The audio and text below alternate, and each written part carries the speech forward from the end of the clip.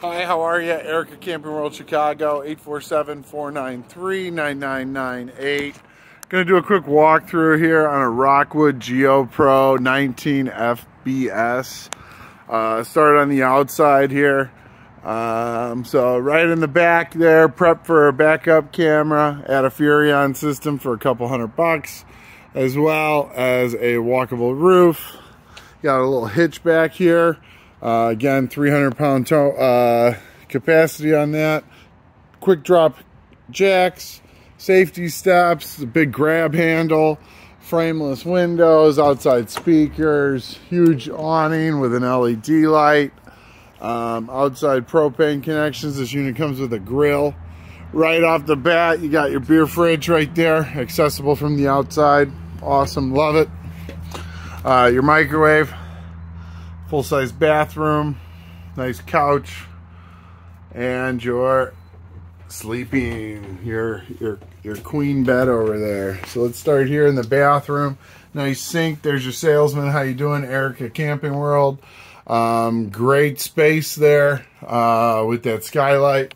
Plenty of feet space for the commode. Go into the kitchen. We see stainless steel sinks uh, nice ovens, three burner stove. TV's already installed, 32 inch.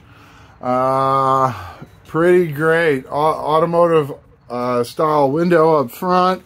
Uh, to wake up, you got plenty of windows around.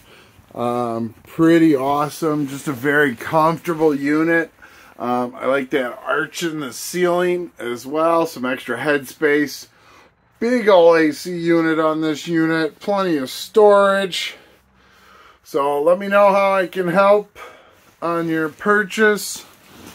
Camping World Chicago wants to earn your business. I need to sell units. Let me know how I can help. This unit is available. I have a couple of them. Uh, GeoPro. Um, everyone loves it. We're 4,100 pounds, give or take. Um, so very towable. Um, of course, I'd recommend a weight distribution hitch with any vehicle just for safer towing with some sway control. Um, but uh, yeah, let me know how I can help on this purchase. If it's not this one, it's another one. So let me know how I can help. Beautiful day here on the lot. We got, uh, got the flag back there in the background. Uh, new flag this morning.